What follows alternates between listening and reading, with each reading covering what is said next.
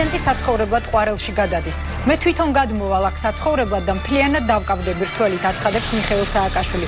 რას უკავშირდება პრეზიდენტის შიდა მიგრაცია? რა შეიძლება მოხდეს არჩევნების შემდეგ და რას ნიშნავს ვანო მირაბიშვილის პრემიერ-მინისტრად დასახელების გადაწყვეტილება?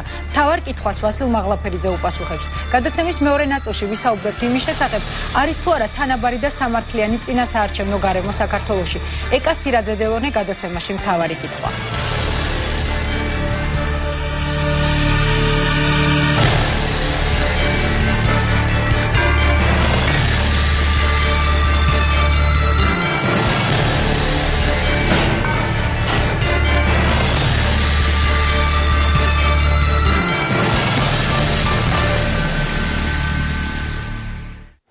თავარ კითხვას პასუხს ვასილ მაღლაფერიძე გასცემს საღამოშტობისა. საღამოშტობისა.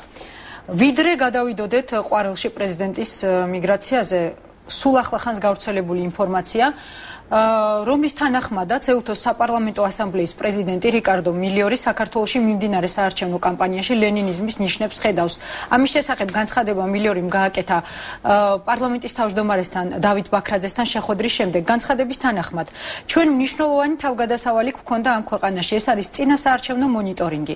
ამ არჩევნებს დიდი მნიშვნელობა აქვს თქვენი მომავლისთვის. არჩევნები უნდა იყოს შემდეგი მნიშვნელოვანი მომენტი ევროპაში. ეს არის სამთავრობო და ოპოზიციური პარტიების მიზანი. ცოტა ლენინიზმია საარჩევნო კამპანიაში, რომლის მიზანია მტრების განადგურების მცდელობა და არა პროგრამების წარდგენა. ამ საზოგადოებაში არ არის მტრები. მნიშვნელოვანია პარტიებმა აჩვენონ ხალხს თავიანთი პროგრამა და იდეები. საქართველოს მნიშვნელოვანი ერია, ამბობს მილიორი მნიშვნელოვანი ადგილი კავკასიაში, დემოკრატიის შუქია და ჩვენ აქ ვართ ამ შუქის ხაზ გასასმელად. რას ნიშნავს, როდესაც ეუთოს საპარლამენტო ასამბლეის პრეზიდენტი წინასაარჩევნო კამპანიაში ხედავს ლენინიზმის ნიშნებს? ეს არის უმნიშვნელოვანესი განცხადება. ლენინი არის ერთადერთი მუმია დღეს. მეც ახლა ვფიქრობდი მართალი გითხრა და დაემთხვა ჩვენი აზრები, მეტი ესეთი მუმია მე არ ვიცი და ესე მუმიფიცირებაზე ბევრმა საუბარმა სადამდე მიგვიყვანა ჩვენ ესე იგი ვნახეთ. მაგრამ ეს ეს განცხადება არის ძალიან მნიშვნელოვანი, მე ესე იგი თუ რამე შო თქვა ჩვენ დაგვეჯერება ტელემაყურებელს, ესე იგი მე ვთხოვდი რომ ამას ძალიან ყურადღება მივაპყროთ, რატო? მართლა თუ ჩვენ მივდივართ ევროპისკენ, და ჩვენ სხვა გზა არ აქვს ეს აუცილებელია. ჩვენ ვინმე სახილებას ქვეყანას ვერ გადავაყურებთ ჩვენთვის საცოცხლო აუცილებელია ევროპაში მისვლა და ევროპული ღირებულების გაზიარება. ევროპა რომელიც პირდაპირ არაპირდაპირ მეუბნებოდა სხვადასხვა დონეზე როგორ უნდა მოიქცეთ ჩვენ რომ ევროპული იყოს ჩვენი საქციელი და ჩვენი ხალისუფლება განუწყვეტლი განუწყვეტლი მომსავს უმეორებ ესე იგი ელემენტარულად ზოგჯერ თაღლითობით მოვლენათა გადასხვაფერებით გადასხვაფერებით სუსტილობდა განუწყვეტლი რომ რაღაცა ფაქტები დაეკდინები და რაღაცა ფაქტები სხვაგორად ეჩვენებინა. არაფერს აღარ ვამბობ იმაზე, რომ განუწყვეტლივ გამოიყენებოდა ევროპის სხვა მიმართულება, სინგაპურიზაცია, რომელიც არაფერს არ ნიშნავდა თუ არა აბსოლუტურად არაევროპული ღირებულებების დამკვიდრებას. შემთხვევითი არის ყვაკარაჯ მარტო კეთილდღეობაზე, თორე ილაპარაკებდნენ ავსტრიისაზე, შვეიცარიზაციაზე, დანიიზაციაზე, ნორვეგიიზაციაზე, ფინეთიზაციაზე. არა, ამოირჩიეს ესე ვთქვათ, ქვეყანა, სადაც არის ესე ვთქვათ, პარტიულად რო ვთქვათ, ძალიან ძიმე ავტორიტარიზმი, მაგრამ ეხლა როდესაც საუბარია ცოტა ლენი ლენინიზმი მიაქცია. ოღონდ ეს ცოტა ლენინიზმი. ახლა შეიძლება პედაგოგ ნათქვა იმ დემაგოგ ექსპერტებს, რომლებიც ესე იგი არიან, რომელმაც თავის ანგარების წყაროდ გაიხადეს და ცხოვრების წყაროდ გაიხადეს, ესე იგი თქო, ყველაფერი უნდა მაქსიმალურად გაამართლოთ და ახლა არ მიეცეს საშუალება ეს. წარმოიდგინეთ საუბარი იმაზე, რომ დარიშხანზეა საუბარი. ლენინთან შედარება ეს არის კატასტროფა, როდესაც დღეს დღევანდელ სოფლიოში ლენინიზმზე საუბრობენ. ანუ ცოტა ლენინიზმი კი არა, რო თქო, რაი რა კარგია, ჩვენ ცოტა ლენინიზმი დაგვაბრალეს და ბევრი ლენინიზმი არ დაგვაბრალეს. როცა ქვეყანაზე მე მნიშვნელოვანი თავ თავგადასავალი ვნახე და დღეს ვნახე რომ ერთის მიხედვით ახალგაზრდა ადამიანები ხართ. თითქოს თქვენ იცედას ახალგაზრდა ადამიანს. დაიწყებულიც უნდა კონდეს მართლა ისეთი ახალგაზრდები არიან არ უნდა ახსოვდეთ საბჭოთა კავშირი და როდესაც ბაჟი რეინკარნაცია ხდება ლენინის და შეთხოვითი არ არის და ჩემთვის ეს მაგალითად კითხა დიდი განსაკუთრებული სიახლე არ არის იმიტომ რომ გადაცემაში და წერილებში ძალიან ხშირად და სხვა ბევრი ადამიანი ვისაც უნდა მანერლის ზუნარი ამათ ხედავს პირდაპირ ადარებდა. ის ახალი ადამიანის გამოყალისნელობა რომელიც არის ეს არის წმინდა ბოლშევიკების მიერ ადამიანის ახალი ადამიანის გამოყვანის თელობა რომელიც ამობდა მოკლა მამაჩებს დავახშობ დედას რევოლუცია თუ მომთხოს ავას ამათ ამაზეა სულ ლაპარაკი. ამაზე ლაპარაკი. არა და არა და ბოდიში რომ გაწყვეტნები ბატონო ვასილი რამდენიმე წლის წინ ფრანგულ მედიასთან საუბარში მიხეილ სააკაშვილი ამბობდა რომ მისმა მინისტრებმა საერთოდ არიციან ვინ არის ლენინი და სტალინი საერთოდ უნდა გითხრათ რომ ლენინი და სტალინი რო არიციან და უცოდინ რობა ეს არ არის მაგალითად დიდი სიამაღე არც ეს არის ცავს ლენინი ლენინი და სტალინი არიციან და ხო ვეფხის ყავსას ხო ესე იგი სულ სხლავენ და აბულბულებენ. ეხლა ეს არცოდ და არ არის. რო არიციან ეს კი არ არის პლუსი. შენ თვითონ რო ხარ? ნორჩი ლენინელი? აი ეს არის უბედურება თქვენ რა გონიათ რა ნორჩმა ლენინელებმა და რომელიმე ბოლშევიკებმა ლენინის თორმები ქონავენ მე საკითხო ლენინი ცოდნა მაგრამ ცოდენ დასმენა დაქვეთა რა ქვია და რაღაცნაირად მისი რა ქვია ხან სიმინდის პროგრამას იწყებდნენ და ასე შემდეგ. ბოლშევიკები ხა მე ისე გეუბნებით რომ ეს მომენტი და მეორე ძალიან მნიშვნელოვანი მომენტზე საუბრობ საკისგან რომ საზოგადოება არ არის ტრებად გაყოფილიო მას დაუნახავს იმ ცირე სიტუაციაში და აი ამ ცირე სიტუაციაში ის თავგადასავალი რა ჩვენ შევთავაზეთ ეუთოს ეუთოს. და უკაცრავად პასუხი არის ჩვენ მარტოებით თუ კი არ უნდა გვინდოდეს რომ ეუთო როგორ შეგვაფასებს და აი დედა ეხლა თქმა და აი ევროპას სწორად დაგვიდა ჩვენ იმიტომ გვინდა ევროპა რომ ჩვენ საბჭოთა კავშირი და მოდიო ჩვენი წყევლაა საბჭოთა კავშირი. და არ შეიძლება ადამიანები ეს საბჭოთა პირდაპირ ადეპტები საბჭოთა კავშირის ნე ნეოკომსომოლები პირდაპირ კომსომოლი ერქვა ამას სახელად არა კომკავში ნეოკომსომოლები დღეს ათასგვარი დემაგოგიით ამკვიდრებდნენ მაგრამ როგორც ჩანს უკვე ევროპაშიც უკვე მათი მოტყუება უკვე ესე ვთქვათ ესე ძალიან ძნელია და ისინი საუბრობენ დემოკრატიის შუქზე რატო? აქ მოსახლეობის დიდ ნაწილს ძალიან ჯანსაღ ნაწილს და თავის ქვეყანაზე მოფიქრა ნაწილს ნამდვილად უნდა დემოკრატია, ნამდვილად უნდა სამართლიანობა და როგორც ჩანს, აი ეს არის ის დიდი კონფლიქტი და არ შეიძლება ამის გამო გამოაცხადო ჯერ ისედაც არ შეიძლება საერთოდ გამოაცხადო მტრად ეს ასე ვთქვათ მაგრამ მაგ შეიძლება სახელმწიფო ექსპერტებმა თვითონ ხელისუფლების წარმომადგენლებმა თქვან რომ არ გულისხმობს მაინც და მაინც მათ საარჩევნო კამპანიას. აქ ხომ არ არის დაკონკრეტებული ვის საარჩევნო კამპანიაზეა საუბარი. მაგრამ ლოგიკა არსებობს ალბათ მე უნდა დედუქცია ვისთან მივდივართ ამ ექსპერტების სახეობა ყავს შესაძლოა ესეთი. მე უნდა გითხრათ ამ ექსპერტებს ესე უპასუხებდით რომ ბოლო დრომდე სამშტა კავშირი ინგროდა ბოლოს ახლა აღარ ვიცი იყო რომ ლენინ ჟივ ლენინ ბუჯეტ ჟიც. ლენინ ახლა იყო ადამიანები გვიტკიცებდნენ ცოცხალია ახლა. ესენიც გამოჩნდებიან ადამიანები ვიტყვი რომ ცოტა ლენინიზმი კარგია და იქნება ესე გაკრეჭილი ექსპერტები რო არიან. ხო თქვა ეს არის უბედურება ჩვენ საერთოდ მეორე უბედურება გვქოს აი ეს ადამიანებს უსმენთ. რატომ ჩვენ მოვალეობათ რომ გავიხადეთ რომ ამ ადამიანებს უსმენთ. ეხლა სადამ შე ჯარებს არ შემოიყვანს ევროპა ჩვენთან. და და ვაფრთხილებს რომ ჯარებს ვისაც შემოიყვანს რომელიც ქვეყანას გვერდზე გვიდგას და რომელიც სადაც არის ეს მუმია ესე ვთქვათ დასვენებული და დღემდე და ხე როგორც გავსება და ჩვენ პიტაბერ გონებია ნუ დემს გავსებით ლენინსო ჩვენ არ ვიცით რომ იმის გზით მივდივართ ჩვენ არ ვიცით რომ პუტინიზაციას ვახდენთ ქვეყანაში ეს ორჯერ 2-4 ელემენტარულად ეს ხო ჩვენ არ ვიცით ევროპაში და ამერიკაში რომ ორი ვადის შემდეგ მიდიან ეს ხო ვიცით ჩვენა ეხლა იმათ მაგრამ ლენინის და სტალინი არიციან რომ ევროპის ისტორიაც არიციან რასაკვირველია ჩვენ ხო ვიცით რომ ეს ესეა ჯორჯ ვაშინგტონი ცოტა მეტი ომის მომგებები იყო ცოტა მეტი პოლიტიკოსი იყო და ცოტა მეტი და ეხвеწებოდა თელი ამერიკა არ წახვიდეო და უკაცრავად აი ეს ვითარება არ იყო რაც საქართველოსში და თვითონ წავიდა და სხვა შეს ვაშინგტონის შენებლობა დაიწყო. ისე რომ არავისთვის არ წაუჭამია თავი. ბოლო ორი დღე გაისმის ესეთი კრიტიკული განცხადებები ევროპის წარმომადგენლების მხრიდან. თუმცა არ არის მსგავსი მკაფიო განცხადებები ამერიკის შეერთებული შტატებიდან. რატომ თქვენი აზრით?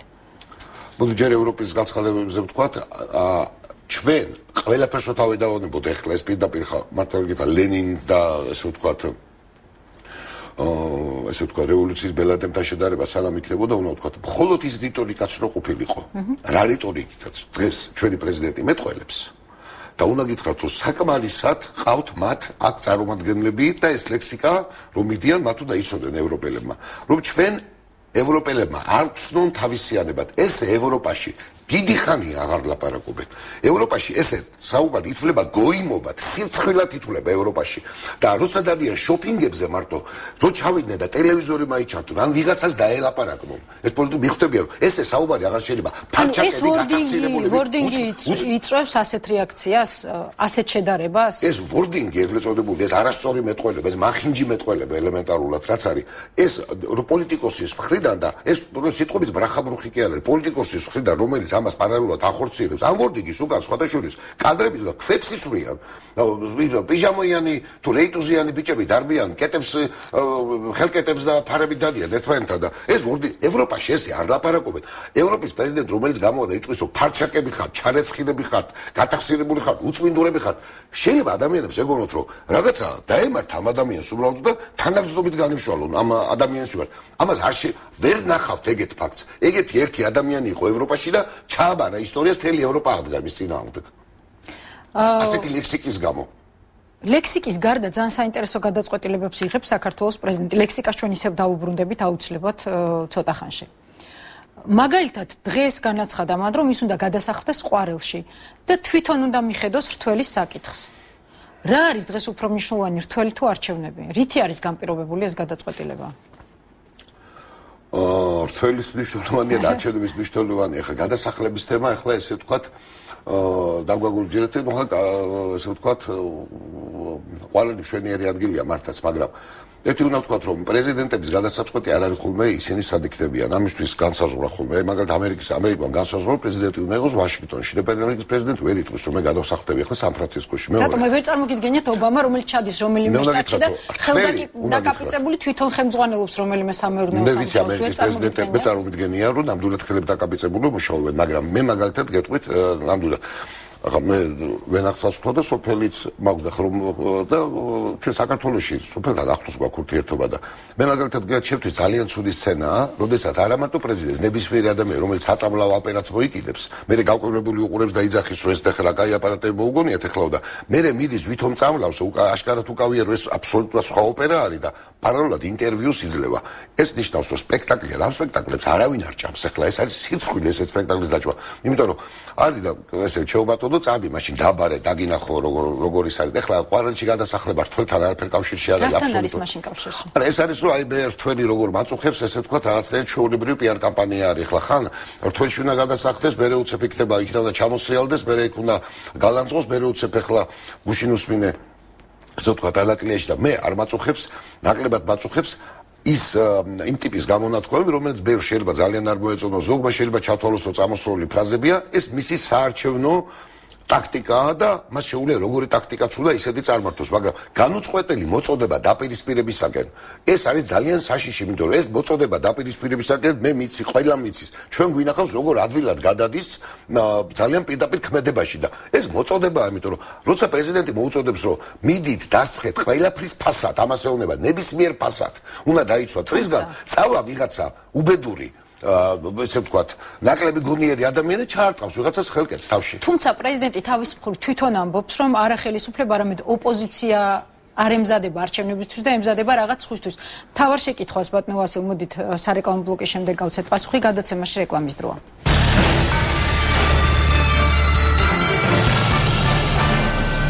თავარ კითხოს პასუხს ვასილ მაღლაფერიძე გასცემს ბატონო ვასილ. პრეზიდენტის ციტატა. რა თქმა უნდა ისინი დამარცხდებიან მაგრამ მათ სხვა გეგმები აქვთ. ისინი არჩევნებისთვის არ ემზადებიან ისინი ემზადებიან არჩევნების შემდეგ რა მოხდება. ამიტომ მინდა ყველას უთხრა ისე მაგრად უნდა მოვიგოთ ეს არჩევნები რომ აზრადაც არ მოუვიდეთ მე თითის განძრევა და თავისი უწმინდური ხელებით რამის გაკეთება. რა შეიძლება მოხდეს არჩევნების შემდეგ?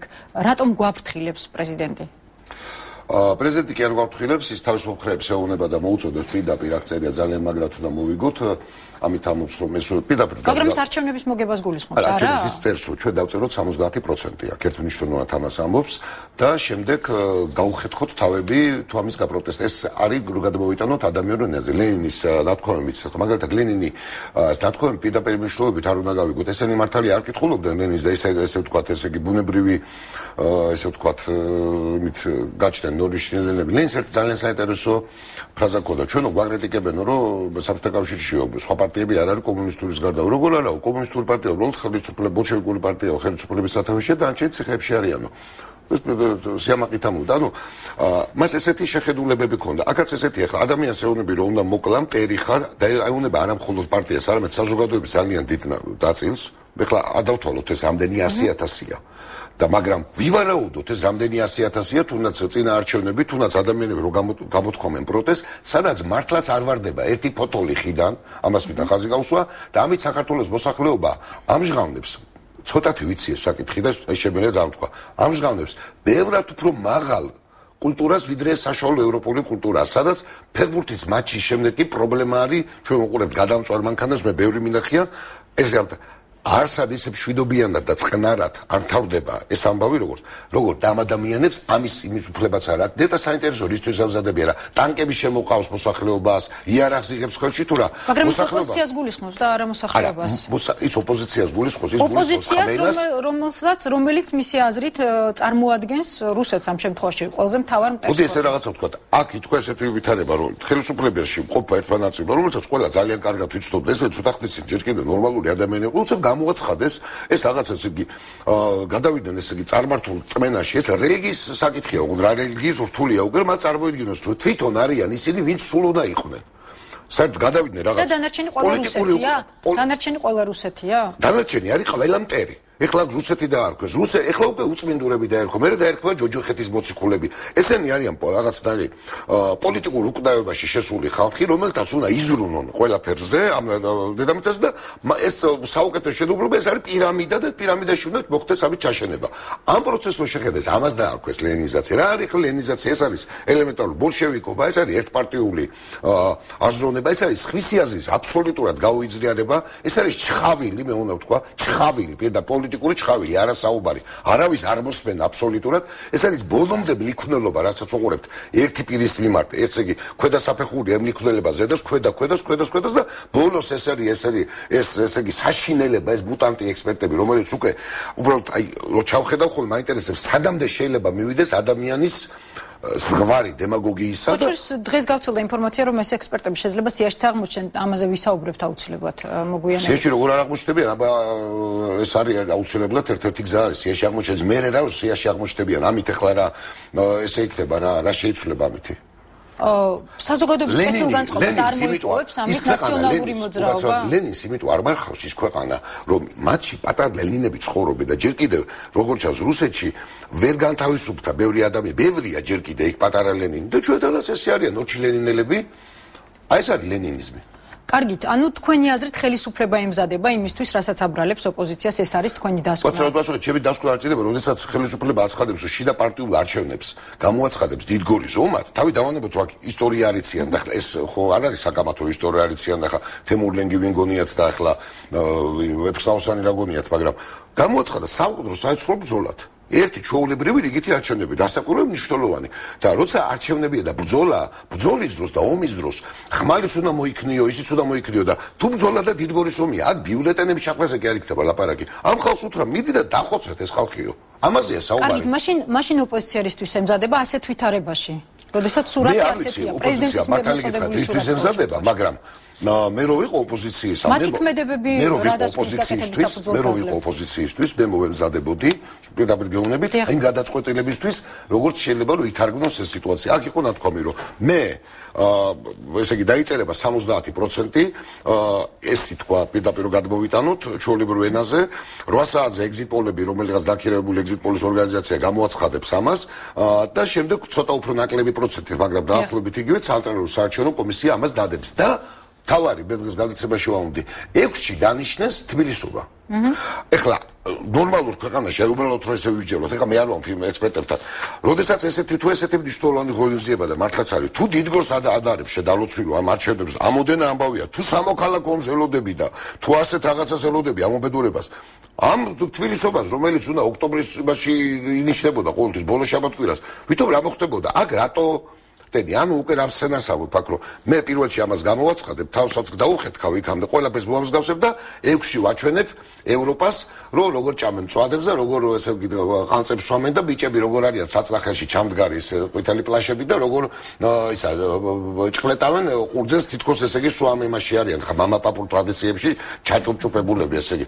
ეს არის მაგრამ ამას ქვია ლენინიზმი. არ ყოფილა თათ ესე ჩალი დახურული ეს სიტუაცია და ვერ მოახერხებენ დღევანდელ საზოგადოებაში ჩალი დახურო და ეს არის სწორედ ძალიან სახიფათო. როცა შედ ადამიანებს უპირებ, რომ მე უკვე რუსთაველი გასუფთავებული მექნება და აქ თბილისობაში ჩავატარებო, არ არის ეს სწორედ ბანკეტს ნიშნავენ უკვე. ჯერ გამარჯვება არ არის მოპოვებული და უკვე ბანკეტის ბანკეტზე მიდის ჯელობა.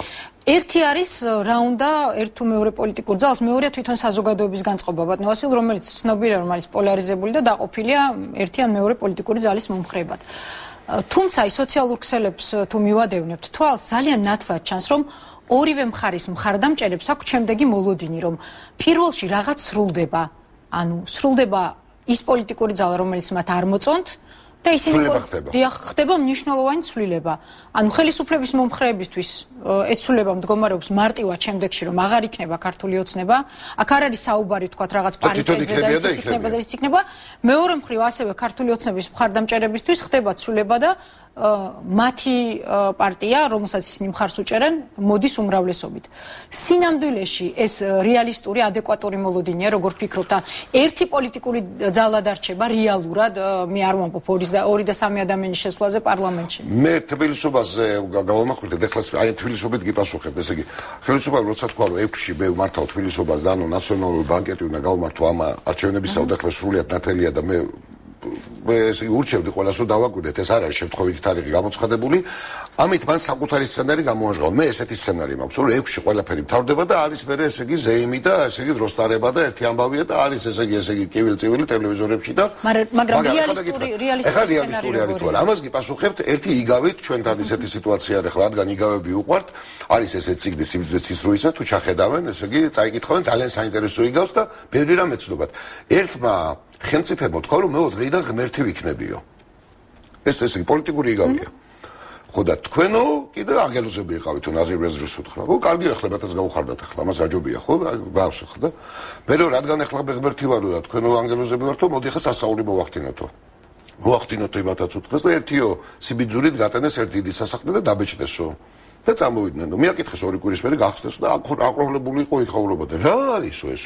გაუკვირდა ხელმწიფესო და აი როგორი ღმერთი ჩენახარო და როგორი ჩვენ ანგელოზები სასწაულიც ისეთი მოვახდინეთო ასაკურველი აი ეს არის რეალობასთან კავშირი ერთია რომ ესენი ამას გეგმავენ და რატომ? იმიტომ კი არა ახლა აქ მუხარაზია საუბარი. არა იმიტომ რომ მათ უნდათ რომ ისტორია უკუღმა დატრიალდეს დინარე უნდა რომ უკუღმა წავიდეს. მათ ფაკირები გონიათ თავისთავად რომ შეულოცავენ და ამ ხალხს არ უნდა ლენინში დავროებდა ესენი რო ყვებიან თითქოს როგორ უსვენენ ზღაპრებს რაღაცა როგორ დისიდენტები იყვნენ და როგორი მე ესე ერთ ბიოგრაფიაში ვკითხულობდი სამარცხინო წელს რომ უბაში 20-მდე აქციაში მაქვს მონაწილეობა მიღებული სამშვიდობო წინააღმდეგ აქციაში დამდგარა მონაწილეობა სხვა შორის ენა გადატლიკილი ვინც ომობდა და სიზღური და ახლობლები დაკარგა და მართლა ვინც ომობდა იმაზე რომ დააყენო საათნახევარი შეუძლია ილაპარაკოს. აი ეს ამ ტიპის იმაზე ვსაუბრობთ ახლა ჩვენ ეს სიტუაცია არ გამოვიდა რომ მოსახლეობას აღარ უნდა ესე ცხოვრება. რა გამოვა მაშინ? სამშტაკავშირიდან, იმიტომ წამოვიდა ეს ხალხი. უფასო გაზიც ჰქონდათ. უფასო არ იყო, მათ თითქოს უფასო იყო. დენი იყო, ის იყო, სოციალური დაცვაც მეტი იყო და სხვათა შორის უნდა თქვა რომ შენებლობა ამათ არ ახსოვთ, 10 იმხელა ტემპით იყო, ვიდრე აქ იყო, მაგრამ ხალხმა თქვა თავისუფლება გვინდაო და ეხლა მათ თქვის, გაზიც ასმაგი უნდა ღირდეს, ეცო არც თავისუფლება არ უნდა იყოსო. მარტო შეუნდა ქონდეს ყველაფერი. გვაქვს რაღაც სურვილების გადაკვეთა, ხო? ერთი არის ის რა უნდა ნაციონალურ მოძრაობას და მის მხარდამჭერებს მხარდამჭერებს მეორეა მეორეა რა უნდა ქართულ ოცნებას და მის მხარდამჭერებს მაგრამ არიან კიდევ საერთაშორისო ორგანიზაციები რომლებიც აი თუნდაც ეუთოს საპარლამენტო ასამბლეის თავმჯდომარის დღევანდელი განცხადება გავიხსენოთ. აი ეს რას გვაძლევს კომპლექსში? კომპლექტში უფრო სწორად ეს ყველაფერი? ეს ამის რომ ისევ გამეორდა ლენინი რატო ამნიშნულოვანი რატო თქვა იმან ლენინი? ლენინი იმიტომ კი არ დამარხეს ამას ვობლას აკეთებდნენ იმისგან და რაღაცა ნახვა უნდათ მართლა არა. ამ პარტიამ თქვა რომ ლენინი ბუდამ ცოცხალიაო და ლენინი რადგან და ლენინის საქმეს ვაგზელებთო ჩვენო ჩვენო სულ ჩვენ უნდა ვიყოთო ამიტომ სულ თვითონ იყვნენ. სანამ ესე იგი ესენი ისტორიის სანაგვეზე არ გაიტან. ეხლა ამათაც შექმნეს ეს იდეა რომ თავარია რომ სულ თვითონ უნდა იყვნენ და დაჯერებული სახეებით არის იმიტომ იმას აკეთებენ ამას აკეთებენ მაგრამ სულ თვითონ უნდა იყვნენ. სულ თვითონ. და რაც თავარია სულ იყვნენ. ყველა სიტუაციაში განუწყვეტლივ ვიღაცას ებრძვიან. მე ხო პირადად ვთქვა მე გაოცებული უყურებ ხოლმე მე პირადად. გაოცებული უყურებ ხოლმე. ამ ჩემ ყოფილ თალაგუნდელებს როცა ისინი საუბრობენ შევარდნაძეს. და როგორ ებრძვიან შევარდნაძეს და მე ვფიქრობ ხოლმე რომ გაოგნებული ან მე სხვა საქართველოსში ვიცხოვრე. ან ეს ადამიანები რომლებიც რომლებიც აა შეიძლება ითქვას რომ აა 90 წელს შევედით და ორი კვირის მერე ცუდი ესეთი გერაფერი მაგრამ რაღაცა ვთქვით რომ გუბა დავითაშვილმა და მე ესე ხო არ არის მე რა შევარდაზე ვთქვა თქო დახურულ სიტუაციაში ჩვენ გეგონა რომ პარლამენტარებმა ჩვენი აზრი უნდა გამოგვეთქვა და ღირაკომ ყელი გამოგვჭრეს ესე იგი შევარდაზე გულისხმობ. ეხლა ეს ადამიანები ყობიან ზღაპრებს ამაზე არა ეს არის ლენინიზმი სინამდვილეში. აი ეს დავუყართ ხო ეს არის ლენინიზმი ყალბისრებლების ღრა არის ლენინიზმი. აი ეს არის ესე ვთქვათ და ყველანაბიჯზე ეს არის ეს სიტუაცია მე უყურებდი ამ იმ კამსამოლებს აი ზუსტად ესე იქცეოდა, მაგრამ რიგ შემთხვევაში მათ ქონდათ ესე ვთქვათ ბეტი იღიცება. კიდევ ერთი თემა. ეს არის მიხელ სააკაშვილის გაპრემიერების თემა, ჩვენ არაერთხელ გვისაუბრია ამის შესახებ. არის ერთი ნაწილი საზოგადოების, მათ შორის ექსპერტების, რომლებიც ამბობენ, რომ მას შემდეგ, რაც ივანე მერაბიშვილი ოფიციალურად ჩიორა თაქთაქიშვილმა დაასახელა მათი პარტიის პრემიერ-მინისტრობის კანდიდატად. ეს არის უკვე უარყოფითი პასუხი შეკითხვაზე. გახდება თუ არა მომავალში მიხეილ სააკაშვილი საპრეზიდენტო ვადის ამოწურვის შემდეგ პრემიერ-მინისტრი. თქვენ თუ ეთანხმებით ამას რომ ეს არის უარყოფითი პასუხი მიხეილ სააკაშვილის მომავალ გაპრემიერებაზე? არა არა მარტო არ ვეთანხმებით შეუძლებელი რომ დავეთანხმოთ ეს არის ლოგიკა და იგივე ეს დასახელება თუ გადასახელება ჯერ არის ხოლმე თვითონ კვალის აბნევის ეს არის ელემენტარულად არა მარტო პოლიტიკაში ვერ უნდა იყოს ადამიანი, ჩვენ რეალობაში ვერ უნდა იყოს და გარდამის ღრმაწმენით უნდა იყოს გავშვალული და შენ საკუთარ უვიცრობაში დაგეთახმება. ყველა ვერავინ ვერ ერქვა შენს გარშემო. თუ ინმე არსებობს ახლა ისეთი რომ სააკაშვილის ჰიპერაქტიულობა სასაც უყურებს და ფაქტობრივად თვითონ ატარებს მარტო საარჩევნო კამპანიას ისე რომ მე მგონი ისე დამთავრდება რომ ვერც გავიგებთ ვინ არიან ესე ვთქვათ დასახელებულები და რაც წარმოადგენს ეს გუნდი და თურმე სააკაშვილი ხა ვიღაცას უნდა დაგვარწმუნოს რომ ამას აკეთებს სხვისი გულისთვის ეხლა მაშინ საქმე მარტივად ვთქვათ აქ გვაქვს სიტყვების თამაში რო არისო თითქოს ესე არის ცნებების თამაშია. ჩვენ კონსტიტუცია უნიკალურ ვითარებაში ვართ ეხლა ვცხოვრობთ ერთი კონსტიტუციის პირობებში ამ კონსტიტუციის პირობებში ავიჩევთ პარლამენტს მაგრამ ერთი წლის შემდეგ სხვა კონსტიტუცია შედის. ამიტომ ის პრემიერ-მინისტრი არ არის ეს პრემიერ-მინისტრი ეს არის პრემიერ-მინისტრი რომელსაც პრეზიდენტი როცა უნდა დანიშნოს და როცა უნდა მოხსნის და ეს პრემიერ-მინისტრი არაფერს თანამდებობას არ წარმოადგენს გასაკუთრებულ პოსტში უახლოესი ერთი წლის მანძილზე. უახლოესი ერთი წლის მანძილზე. მაგრამ როდესაც ვცხოვრობთ იმ პრემიერ-მინისტრზე რომელსაც პარლამენტი აირჩევს. ის იქნება სახელმწიფოს პირველი პირი, რომელსაც აირჩევს, მაგრამ იქ უკვე პრეზიდენტი აღარ იქნება. ამიტომ ეს პრემიერ-მინისტრი არის სულ სხვა პრემიერ-მინისტრი. თუ ვინმე ზუნდოდა და ჩაფიქრებული ქონდა პრემიერ-მინისტრობა თქვა ვანო მერაბიშვილისა ამისთვის აუცილებელი პოლიტიკური ლოგიკა მოითხოვდა. და ამას არ ჭირდება ხა დიდი ექსპერტობა ელემენტარული ციგნის საკითხვა ჭირდება ლოგიკა არის პოლიტიკური ლოგიკა სიას უნდა ჩადგმოდა სათავეში და სია გაეყვანა. სახელმწიფოს პირველი პირი ვისაც უნდა რომ გახდეს თელორობაში არჩევნებით უნდა მოხდეს. არ შეიძლება ახლა ძალაუფლება ხელში ჩაიგდო ისე რომ არჩეული არ ახარ.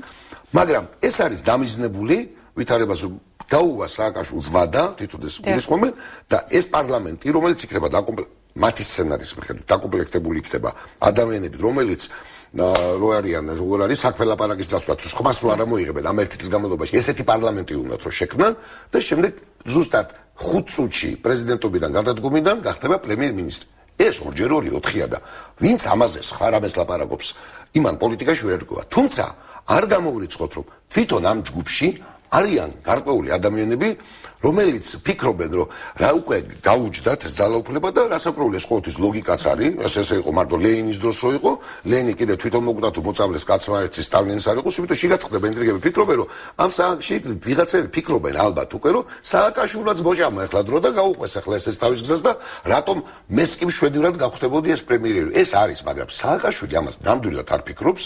და რასაკროლი ოდნავათაც არ ფიქრობ. მეტიც ასეთი მოწყობის ქვეყანაში არ მოხდა რა. ლენი არ ფიქრობდა რომ სტალინი უნდა ყოფილიყო, სტალინი არ ფიქრობდა ვინ იყო ხრუშოვი რომ უნდა ყოფილიყო და ასე შემდეგ. ეს გარე ისინი გარეთ იყვნენ დაუნდობლების ხვების მიმართ, მაგრამ არანაკლებ დაუნდობლები იყვნენ შინით. მეგენი საერთოდ ცოტაღანში ყავას აღარ დალევენ ერთმანეთის ჩიქიდან.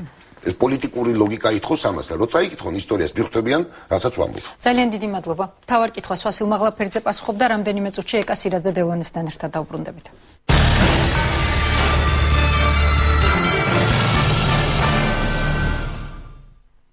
ეკასირადე დელონი გასცემს პასუხს მთავარ კითხვას საღამომშვიდობისა ქაბატონო ეკა. აა ძალიან ცოტა დრო დარჩა საპარლამენტო არჩევნებამდე თვეზე ოდნავ მეტი. აა პირველ რიგში მინდა გკითხოთ როგორ დაახასიათებთ იმ საარჩევნო გარემოს რაც არის დღეს საქართველოში შექმნილი. ცნობილია ყოველასთვის რომ მთელი თითქმის ერთი წლის მანძილზე საერთაშორისო ორგანიზაციები, ამერიკის ადმინისტრაცია, ევროპის ქვეყნების ხელმძღვანელები მოუწოდებდნენ საქართველოს ხელისუფლებას რომ ეს არჩევნები არის ძალიან მნიშვნელოვანი და უნდა ჩატარდეს ძალიან თავისუფალ კონკურენტულ და რაც თავარია სამართლიან გარემოში. არის ასეთი გარემო ან ამასთან მიახლოებული გარემო დღეს შექმნილი ქვეყანაში? ძალიან მნიშვნელოვანი არჩევნები ხა ეს ამერიკის შეერთებულმა შტატებმა და ევროპამ რო არ გითხრას ჩვენს თავისთავად ცხადია რომ ამას ხვდებით. და მართლა ძალიან მნიშვნელოვანია თუ როგორი გარემო იქნება წინას არჩევნო პერიოდში, იმიტომ რომ როდესაც არჩევნებს ვაფასებთ, ვაფასებთ არა მხოლოდ თქვა სკეჭისყრის დღეს, ასევე მნიშვნელოვანია წინას არჩევნო პერიოდი. 60 დღე განსაკუთრებით არჩევნებამდე. სამწუხაროდ მე ნამდვილად არ მაქვს იმის ილუზია რომ ეს არჩევნები თქვა ძალიან თავისუფალ გარემოში ყოველ შემთხვევაში წინასაარჩევნო წინასაარჩევნო პერიოდი მიმდინარეობს ძალიან თავისუფალ და კონკურენტიალ და ასე ვთქვათ თანაბარ პირობებში არიან ყველა სუბიექტები ჩაყენებული, აი ამის ილუზია არ მაქვს. მე რა თქმა უნდა, ჩემს ასე ვთქვათ დასკვნებს ვაკეთებ იმაზე თუ რაც მესმის არასამთავრობო ორგანიზაციების ანგარიშები, ვთქვათ იქ რაღაც მედია ანგარიშები ხომ რა ხდება რეგიონებში, როგორი ზეწოლის ვთქვათ ადმინისტრაციული რესურსის გამოყენების და ასე შემდეგ ფაქტებია და ეს ფაქტები ყველაფერი ამ ეტაპზე მიანიშნებს იმაზე, რომ პრინციპში თქვათი თავისუფალი წინასაარჩევნო გარემო ნამდვილად არ გვაქვს. გაკეთდა უკვე ან ცოტა დაგვიანებით არის ეს შეიძლება არც გუშინ გაკეთდა უკვე პირველი შეფასება საარჩევნო გარემოსთან დაკავშირებით. ევროსაპროს საპარლამენტო ასამბლეის მოხსენებასთან დაკავშირებით საუბრობდია გააკეთეს ეს შეფასება. მათ თქოს რომ სახელმწიფო აუდიტის სამსახურის მიერ დაკისრებული არაპროპორციული ჯარიმები ფაქტობრივად ძირს უთხრის ოპოზიციური პარტიის ნორმალურ პოლიტიკურ საქმიანობას დღესაც უკვე ეუთოს დელეგაციამ გააკეთა მსგავსი კომენტარი. კერძოდ ეუთოს ვიცე-პრეზიდენტის შეფასებით აუდიტის სამსახურს საეჭვო და ბუნდოვანი გადაწყვეტილებები გამოაქვს როდეს როდესაც ინდივიდუალურ თუ პარტიის მიერ გახარჯულ ფინანსებს იკვლევს. რამდენად ეთანხმებით აი ამ ორ შეფასებას, რომელიც რომ არ დავეთანხმო, ნამდვილად არ შემიძლია რომ არ დავეთანხმო, ეს არის ის ინსტიტუტები, რომლებსაც ძალიან დიდ პატივს ვცემ, ძალიან რესპექტაბელური ინსტიტუტებია, მათ თავიანთ განცხადებებს ისინი რაღაც ჭორებზე დაყრდნობით არაკეთებენ, თავისთავად ცხადია, ყოველთვის ხდება ხოლმე რაღაცა მოკვლევა წინასწარის, დასაბუთება, შესწავლა საკითხის და თუმცა აი შემდეგი ჩაგიკითხებთ ამასთან დაკავშირებით, თქვენ ამბობთ რომ ისინი არაკეთებენ ხდებიან ჭორების საფუძველზე და ხდება მოკვლევა ხო კონკრეტულ საკითხებს. მე მაგალითად მოვისმინე აკაკი მინაშვილის განცხადება სახელმწიფო პარტიის ერთ-ერთი ლიდერის რომელმაც თქვა რომ მათ არასწორი ინფორმაცია მიაწოდეს და საერთოდ გუშინ თავრობის განცხადება გავრცელდა სადაც უწოდეს თანამომხსენებლებს პირდაპირ ბიზნა ივანიშვილის ლობისტები. აი ამ ამ სიტყვით იყო მე არ მომისმენია ეს განცხადება არც მთავრობის და არც ბატონი აკაკის უბრალოდ სერიოზულად ვერ აღვიქვა იმას რომ ლობისტების მოსყიდული იყოს მთლიანად მთელი ეს ევროსაბჭოს ინსტიტუტი იქნება თუ ეუთო საპარლამენტო ასამბლეა ხო? ეს რაღაცა ძალიან რეალობას ძალიან დაცილებულია და არაადეკვატურია ანუ შესაბამისად მოდით ამაზე კომენტარს არ გავაკეთებ იმიტომ რომ ჩემთვის ეს აბსოლუტურად არასერიოზულია. უბრალოდ მე ვთვლი რომ ეს არის ის პრობლემა და ძალიან ძალიან კარგი აქცენტი გააკეთეს, სწორი აქცენტი გააკეთეს, იმიტომ რომ შეუძლებელია უბრალოდ ასეთი არაადეკვატური სასჯელები იყოს, ყველაფერი დაყადაღებული იყოს და ასე შემდეგ და თან ვიძახდეთ, რომ ჩვენ ძალიან ესე ვთქვათ, თანაბარ პირობებში ვაყენებთ ყველა პოლიტიკურ ძალას, ხომ? ეს შეუსაბამოა ეს ყველაფერი ერთმანეთთან. ამიტომ მივესალმები იმას, რომ ასეთი კრიტიკულები იყვნენ წინასაარჩევნო პერიოდში, რომელიც ძალიან დიდი იმედი მაქვს. ჯერ კიდევ გვაქვს 35 დღე, ხომ? თვეზე ცოტა მეტი. ანუ არის კარგი არის და დადებით მითია ის, რომ ახლა გაკეთდა ეს განცხადებები, იმიტომ რომ შესაძლებელია და დიდი იმედი მაქვს, რომ ამ 35 დღის მანძილზე იქნებ გამოსწორდეს სიტუაცია, რაღაც პრევენციული დატვირთვაც მიუცეთ ამ განცხადებებს. მაგრამ თქვენი აზრით, რატომ აქამდე არ იყო ასეთი პროტესტი საერთაშორისო ორგანიზაციების მხრიდან? საერთოდ თქვენი აზრით, რამდენად მნიშვნელოვანია სადამკვირვებლო ორგანიზაციებისთვის ის, რომ საქართველოში ჩატარდეს მართლაც სამართლიანი არჩევნები? სადამკრობლო ორგანიზაციებისთვის კი არ არის მნიშვნელოვანი რომ საქართველოს სამართლიანი არჩევნები ჩატარდეს. ჩვენთვის არის მნიშვნელოვანი რომ სამართლიანი არჩევნები ჩატარდეს და მნიშვნელოვანია მათი დროული რეაქციები და საერთაშორისო თანამეგობრობისთვის არის. საერთაშორისო სადამკრობლო ორგანიზაციები უბრალოდ აკვირდებიან პროცესებს და ამაზე ანგარიშს აკეთებენ. ანგარიში მათი ანგარიშს ყურადღებას აქცევს საერთაშორისო მთელი ქვეყნები ხო? ვთქვათ ევროპა ამერიკა და ასე შემდეგ. ძალიან მნიშვნელოვანია მათთან ჩვენი ურთიერთობის დროს რომ იცოდნენ ვისთან აქვს საქმე, არის ეს თქვა დიქტატორული ქვეყანა, არის ეს ავტორიტარული ქვეყანა, არის ეს დემოკრატიული ქვეყანა და სწორედ იმის და მიხედვით შემდეგ უკვე განსაზღვრონ მათი პოლიტიკა ჩვენი ქვეყნისთან ქვეყანასთან მიმართებაში. ამიტომ ჩვენთვის არის ძალიან მნიშვნელოვანი პირველ რიგში მოდით რაღაცა ამ ბოლო დროს მიდის იმაზე სულ საუბარი აი საერთაშორისო დამკვირვებლები და ჩვენ ვართ მთავარი, ჩვენი ამომრჩეველია მთავარი და მათი დასკვნებიც ხომ მნიშვნელოვანია და ხომ არის დაგვიანებული უნდა იყოს ადეკვატური და მათი დაგვიანებული თვითონ ახლა და არა ვთქვა ოდნა უფრო ადრე. დაყადაღებები აუდიტის სამსახურის მიერ დაკისრებული ეს ჯარიმები. ეცით რა წინასაარჩევნო პერიოდი ოფიციალურად ძალიან დიდი ხანია. ძალიან დიდი ხანია დაიწყო მაგრამ ოფიციალურად საარჩევნო კანონის მიხედვით წინასაარჩევნო პერიოდი 60 დღით ადრე იწყება ანუ როდესაც გამოცხადდება არჩევნები.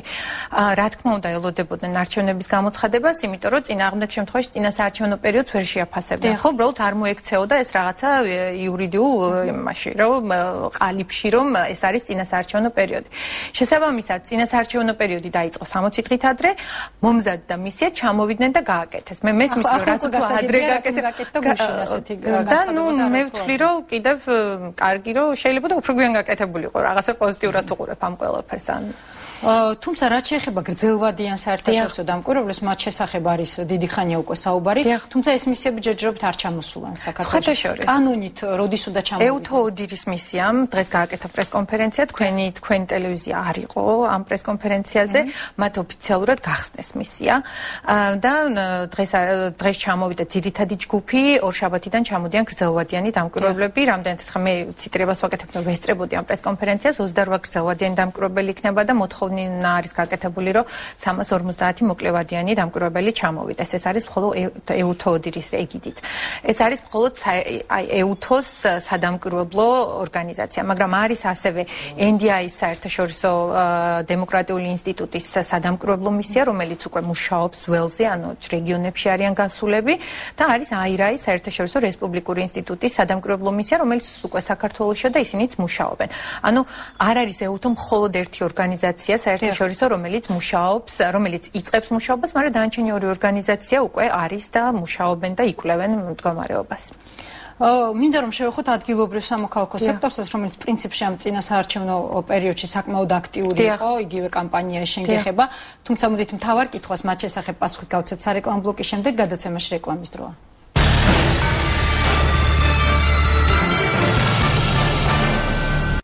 ეკატერინე სირაძე დელონე გასცემს პასუხს თავარ კითხვას. ქალბატონო ეკა ჩვენ სარეკლამო პაუზის დროს ვისაუბრეთ რომ არა მხოლოდ მეცხრე არხი არამედ სხვა ტელეკომპანიებიც არის არც ერთი ტელეკომპანია არ იყო კი დავაზუსტებ და სხვა ჩვენს არც საინფორმაციო სააგენტოები არიდო ეს ინფორმაცია. ეხლა კი რაც შეეხება კითხვას რომელიც რომის დასმაც დავიწყე სარეკლამო ბლოკის წინ ეს არის უკვე ადგილობრივი სამოქალაქო სექტორი არასამთავრობო სექტორი რომლებიც აქტიურად არიან ჩართული და არიან ძალიან აქტიურები მთელი ამ წინასარჩევნო პერიოდის მანძილზე. თუმცა უნდა აღვნიშნო ერთი რამ. ისინი იყო ბევრად უფრო აქტიურები, როდესაც მაგალითად საუბარი იყო ცვლილებებზე პოლიტიკური გაერთიანებების შესახებ, რომელიც ეხებოდათ უშუალო არასამთავრობო ორგანიზაციებსაც, თუმცა ვერ ვიტყვი, რომ მათი განცხადებები იყო საკმარისად მკაფიო, ისეთივე როგორც მანამდე, როდესაც საქმე ეხებოდათ კონკრეტულ პარტიებს მაგალითად, შეზღუდვებს კონკრეტული პარტიების მიმართ. რატომ თქვენი აზრით? ანუ მკაცრნი არიყვნენ თქვენ ამას გულისხმობთ? მაშინ როდესაც ისინი იყვნენ ძალიან აქტიურები, როდესაც მათ ეხებოდათ კონკრეტული ცვლილებები ცუდად და მიაღწიეს ხელისუფლებასთან იმას, რომ მაგალითად დაკავშირებული იურიდიული პირის შესახებ მიაღწიეს ცვლილებას კონკრეტულ კანონში. და მაგრამ დაყადაღებები, ესა თუ ის ფინანსური სანქციები, რომლის შესახებაც აკეთებენ მაგალითად ევროპული ორგანიზაციები ორი დღეა კონკრეტულ განცხადებებს, ქართული არასამთავრობოების მხრიდან იყო ცალკეული განცხადებები მაგრამ კამპანია მათ როგორც ასეთი ამ ამ ხარვეზების, ამ უკანონობების გამოსასწორებლად არ ჩაუტარებიათ. მათ შორის არასამართლიან არჩევნებსაც გულისხმობ, სამართლიან არჩევნებსაც უბრალოდ ვერ ვისაუბრებ. კი, მესმის გასაგებებს, ხო შორის მე ნახულობდი ეს საქართველოს არ ვიყავ, მაგრამ ნახულობდი ამ განცხადებებს და ვიცი რომ საიას ქონდა განცხადება ამ დაყადაღებებთან დაკავშირებით, დაჯარიმებებთან დაკავშირებით. კი, იყო განცხადება, მაგრამ არ იყო ერთიანი კამპანია, არ იყო წარმართული. კი. მესმის ახლა ნამდვილად ვერ ვისაუბრებ მათ მაგივრად არ ვარ უკვე აღარ ვარ სამართლიან არჩევნებში შესაბამისად არ ვიცი რამდენიც მე მგონია ყველა უკვე იმდენად გადართული ამ საარჩევნო საკითხებზე წინა საარჩევნო საკითხებზე და მათი მისიის მომზადებაზე რომ შესაძლოა ეს გაერთიანება დროის ფაქტორის გამო უჭირთ თუმცა მე მგონი ეს არის ის კითხვა, რომელიც შეგიძლიათ რომ მათ დაუსვათ მე ნამდვილად. მესმის, მაგრამ ეს როგორ ახასიათებს თქვენი აზრით არასამთავრობო სექტორს საქართველოში და როგორ ფიქრობთ, აი ყველაზე კრიტიკულ მომენტში, როგორიც არის არჩევნების შედეგების აღიარება ან არაღიარება კანონიერ საფუძვლებზე დაყნობით. რამდენად ობიექტურები იქნებიან ისინი თქვენი აზრით? მათი მათი სიტყვა გადამწყვეტი არა მხოლოდ შიგნით, არამედ იგივე საერთაშორისო ორგანიზაციებისთვის ხომ ასე. ჩვენს არასამთავრობო სექტორს მე როდესაც მუშაობდი, ყოველთვის მქონდა ხოლმე ის მომენტი, რომ მაქსიმალურად ყოფილიყავი ნეიტრალური, იმიტომ რომ ძალიან მარტივად ჩვენი ხელისუფლების მხრიდან მუდმივად ისმის ხოლმე რა თქვენ ხართ აფილირებული რაღაცა პოლიტიკურ პარტიასთან, ამიტომ ხართ ანგაჟირებული და ასე შემდეგ. ხო, ეს არ არის ახალი, ასე თქვათ რაღაცა იარლიყი, რომელსაც მოგაკრავენ და შემდეგ ძალიან რთულია აქედან თავის ახსნა. აა მე მაინც მგონია, რომ აი ეს ფაქტორი დიდად ძალიან ისე აქტიურად მუშაობს ჩვენს არასამთავრობო ორგანიზაციებზე. ის რომ ეს ცალსახად დაუდგნენ გვერდზე პოლიტიკურ რომელიღაცა პოლიტიკურ სუბიექტს და მისი ინტერესები დაიცვან აქ უკვე შესაძლოა მე ალბათობის მასე საუბრობ შესაძლოა ეშინიათ რომ ისინი არ იყვნენ რაღაცა იარლი მირტმულები რომ მაგალითად იცავენ კი ეს კომპლექსი ნამდვილ მე პირადად მქონდა. მე ხა არ ვიცი რამდენად ქალბატონ ნინო უმჯერიას აქვს იგივე კომპლექსი მე რომ მქონდა ნამდვილად ვიცი. ამიტომ აქედან გამოვდივარ. და ეს რა შედეგს იწევს? ეს იწევს იმ შედეგს, რომ ფაქტურად შესაძლებელი შიშით შეიძლება არასამართლიანი განცხადება გააკეთო, ან არასამართლიანი არა, უბრალოდ შეიძლება არ გააკეთო განცხადება, ან ძალიან დაბალანსებული განცხადება გააკეთო. არა მგონია მე რომ როდესმე გავჩუმებულიყავი, მაგრამ ყოველ შემთხვევაში ვცდილობდი მაქსიმალურად დაბალანსებული ყოფილიყო, იმიტომ რომ აი ეს ძალიან ისეთი რთული მომენტია, იცით, როდესაც იტყვიან, რომ აი ეს უკვე ერთ პარტიას უჭერს მხარს, მე ძალიან ფუჩდება იმიჯი არასამთავრობო ორგანიზაციის და ძალიან რთულია ხოლმე. მაგრამ რა უნდა იყოს ამ შემთხვევაში? აი დღევანდელ ძალიან კრიტიკულ ვითარებაში პრიორიტეტული რა უნდა იყოს ორგანიზაციებისთვის? სამართლიანობა, როგორც ასეთი. სამართლიანობა, რა თქმა უნდა, სამართლიანობა. მე რამდენადაც მესმის ინდივიდუალურად ესე ჩალკეს აკეთებდნენ ამ განცხადებებს, ამიტომ ვერ ვიტყვით, რომ არასამართლიანები იყვნენ ამასთან მიმართებაში, მაგრამ ეს ეთყობა კამპანიას ვერ გაუკეთეს მობილიზება, ამაზე ნუ ვერ გეტყვით. შეიძლება ის ფაქტორით ის კომპლექსიც იყო, რაზეც ვისაუბრე. აა კონკრეტულ საკითხს მინდა შევეხოთ. ეს არის CSKO-ს გადაწყვეტილება იმ შესახებ, რომ არ მიანიჭეს მათ ქართულ ოცნებას 7 ნომერი. თქვენი მოსაზრება გამოქვეყნდა გუშინეთ გაზეთზე, ძალიან საინტერესო მოსაზრება იყო. ახლა კი მოდით ვისაუბროთ უკვე ის რაც დაწერეთ ნეთ გაზეთში, ისაუბრეთ ჩვენთან, ანუ სამართლებრივი საფუძველი პირველ რიგში ჰქონდა თუ არა CSKO-ს, როდესაც ამ გადაწყვეტილებას იღებდა და რატომ დაუშვა თუ ასეთი სამართლებრივი საფუძველი არსებობს, რატომ დაუშვა მან წინა წლებში ამასთან დაკავშირებით ძალიან კონკრეტული გამონაკლისები. ანუ 2010 წელს ქონდა ასეთი შემთხვევა, როდესაც სამოპოლიტიკურმა სუბიექტმა მიიღო ის ნომერი, რომელიც პრინციპში 119 მუხლის მეოთხე და მეხუთე პუნქტით არ ეკუთვნოდათ მათ. ხა ეს ციტირებას ვერ გავაკეთებ ზუსტად ამ მუხლების, მაგრამ მუხლი დაახლოებით იძახის იმას, რომ თუ რომელიმე პოლიტიკური ძალა, ანუ ამ ბლოკში შემავალი პოლიტიკური პარტია არ არ ქონდა მას მიღებული მონაწილეობა 2008 წლის საპარლამენტო არჩევნებში, ამ შემთხვევაში ისინი ვერ აირჩევენ იმ ნომერს, რომელიც მათ სურთ, ამ ეკუთვნის თქვა სხვა პოლიტიკურ ძალას და შესაბამისად უნდა მოხდეს წილისყრა ამ საკითხთან დაკავშირებით. ხა რა მოხდა, რატომ იყო ეს ძალიან განმაცვიფრებელი და ჩემთვის ძალიან შემაშფოთებელი და მომინდა რომ რაღაც აუცილებლად ამასთან დაკავშირებით ჩემი აზრი გამომეთქვა. 2010 წელს სამოპოლიტიკურმა ბლოკმა, საარჩევნო სუბიექტმა მიიღო ის ნომერი, რომელიც პრინციპში წესით კენჭისყრით უნდა გადაწყვეტილიყო მათი ამ ნომრის მიღება არ მიღების საკითხი. ეს გახლდათ პირველი ალიანსი საქართველოსთვის, მეორე გახლდათ ქრისტიან დემოკრატიები, როდესაც იყვნენ ჩვენ თვითონთან და ქრისტიან დემოკრატიულ სახალხო პარტიასთან და მესამე იყო სახალხო კრება თუ სახალხო კრება თუ არ ვწდები. სახალხო კრება. არა, სახალხო კრება არა. ეს იყო ზვია ძიძიგურის გაერთიანება ნოღაიდელის პარტიასთან, რომელსაც თავის მხრივ ასევე არ ქონდა წინარჩენებში მონაწილეობა. სახელს ზუსტად ახლა ვეღარ გიხსენე.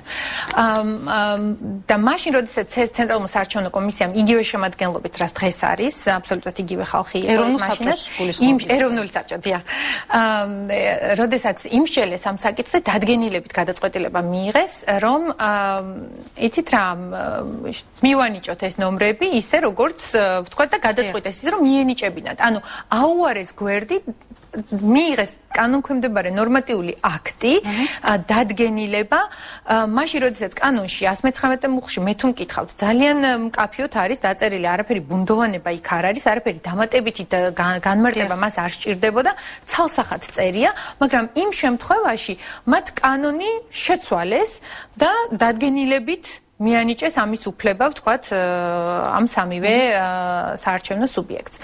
წელს მაშინ როდესაც ერთ შემთხვევაში ანუ გამოიყენეს ეს დადგენილება და გაწყვეტილება მიიღო იგივე ჯგუფმა იგივე შემთხვევა ეს ნუ ისეთივე მაგალითი როდესაც ისეთივე შემთხვევა ანალოგიური პრეცედენტის დროს მიიღეს განსხვავებული გადაწყვეტილება. მე სხვა არაფერი არ დამრჩენია რომ ვიფიქრო ეს არის პოლიტიკური გადაწყვეტილება ხო? იმიტომ რომ რატომ იყო მაშინდელი გადაწყვეტილება უკანონო თუ არის ეხანდელი გადაწყვეტილება უკანონო და მაშინ რა ვქნათ ხო? როდესაც ყავს ცენტრალური საარჩევნო კომისია რომელიც კანონს ცვლის ისე როგორც მას უნდა ხო? ხო შეიძლება რომ მომავალ წელს თქვან რომ აი წელს რა გადაწყვეტილებაც მივიღეთ ისიც იყო უკანონო და მაშინ რას ვაკეთებთ ამასთან მიმართებაში?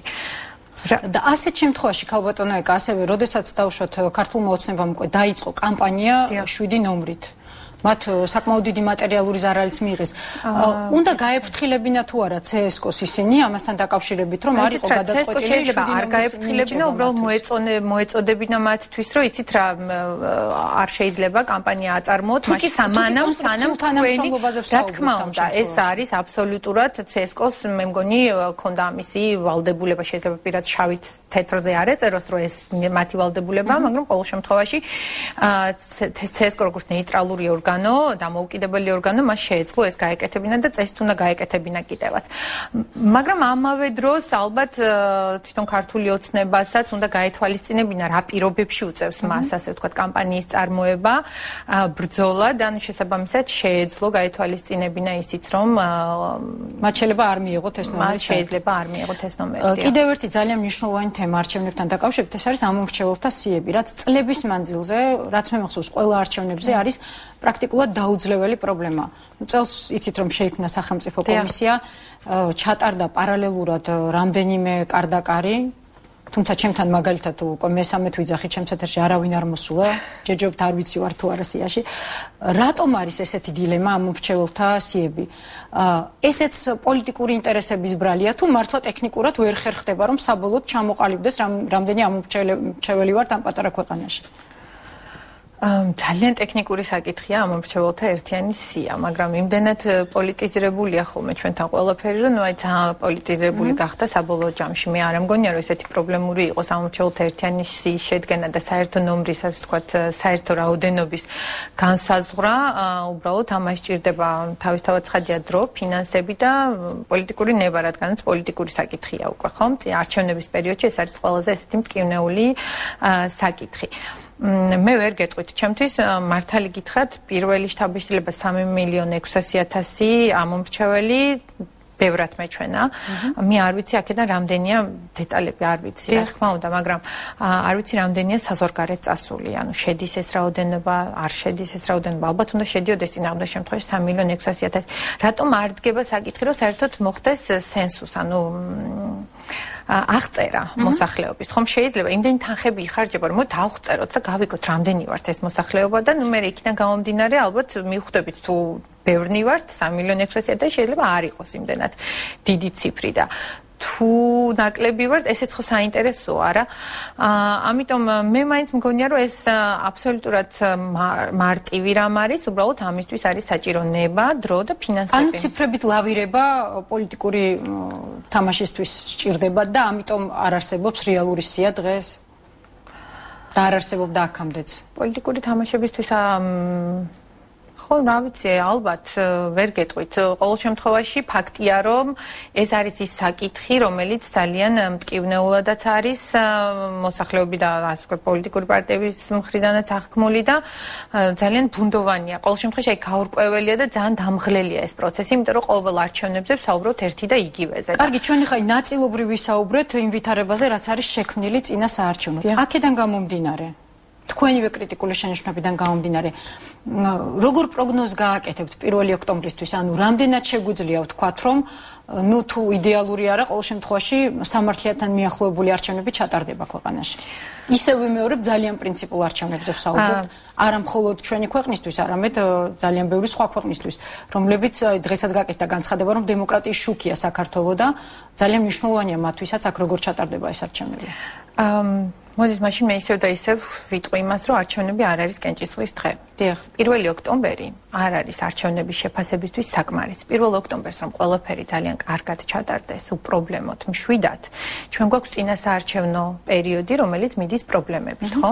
თუ ეს პერიოდი, აი ამ პერიოდში წინასაარჩევნოთ არ დაწყნარდა სიტუაცია, არ ჩადგა ყველა პოლიტიკური სუბიექტი თანაბარ პირობებში, რაღაც არ მოხდა ნაკლებად ადმინისტრაციული რესურსის გამოყენება არ იქნა ეს დაშინებები, ზეწოლები და ასე შემდეგ.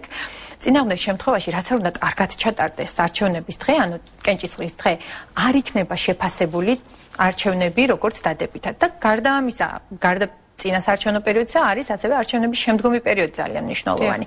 იქნება საჩივრები, თავისთავად ცხადია, ხო, რაღაც არც ერთი არჩევნები არ ყოფილა საჩივრების გარეშე. როგორ განიხილავს, რამდენად ობიექტური იქნება საარჩევნო ადმინისტრაცია და სასამართლო საჩივრების განხილვის პროცესში. ესეც არის ძალიან მნიშვნელოვანი. ეს სამივე პერიოდი არის თანაბრად წონადი არჩევნების შეფასებისათვის. ამიტომ ჩემთვის 1 ოქტომბერს რა მოხდება მართალი გითხრათ ძალიან ნაკლები მნიშვნელობა აქვს ხო ერთ ძალიან დიდი იმედი მაქვს რომ ამომრჩეველი აქტიურად მივა და დააფიქსიროს იმიტომ ერთადერთი გზა არის ის რომ ამომრჩეველი მივიდეს და დააფიქსიროს თავისი არჩევანი თუმცა არანაკლებ მნიშვნელოვანია თუ არა მეტად არჩევნების შემდგომი პერიოდი, რას გააკეთებენ, როგორ განიხილება საჩივრები და წინასაარჩევნო პერიოდი როგორ ჩაივიწყა. თუ ზეწოლა იქნა წინასაარჩევნო პერიოდში და დავაშინეთ მაგალითისთვის ვამბობ, ხო? ამომრჩეველი ხა მივა ის ამომრჩეველი წყნარად მისცემს ხმას, მაგრამ ნიშნავს, რომ თავისუფალი არჩევნები ჩავატარეთ. ხომ გესმით, ამიტომ ეს სამი ან დღევანდელი ვითარება უნდა შეიცვალოს იმისთვის, რომ დღევანდელი ვითარება უნდა შეიცვალოს, ესე არ შეიძლება რომ გაგრძელდეს. ხა დინამიკაში ვხედავთ, რომ ესკალაცია ხდება, ხო? ანუ სამართლიანი არჩევნების ანგარიშებს და სხვა არასამთავრობო ორგანიზაციების ანგარიშებს რო უყურებთ, აცხადებენ, რომ უფრო მეტი და მეტი ასეთი ფაქტები არის ზეწოლა და ასე შემდეგ დაჭერები და მთელი ამ ამბავი. ხა ეს თუ ესე გაგრძელდა ვერ შეფასდება თავისუფლად და სამართლიანად ეს არჩევნები. ძალიან დიდი მადლობა. იმედი რომ კიდევ იქნებით ჩემი სტუმარი წინასაარჩევნო პერიოდში. ეკასირაძე დელონე პასუხობდა მთავარ კითხვას, მე ხვალამდე გემშვიდობებით.